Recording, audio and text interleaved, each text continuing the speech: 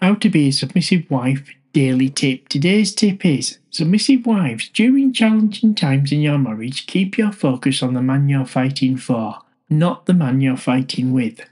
Remember that even the strongest relationships face obstacles. Instead of dwelling on the current conflict, refocus your energy on the love and commitment you share. Seek to understand your husband's perspectives. Communicate openly and work together to find solutions.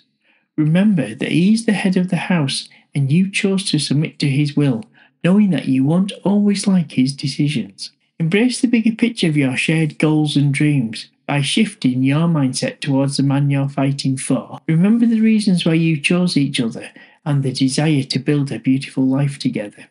Embrace patience, empathy, and forgiveness as you navigate difficult patches together.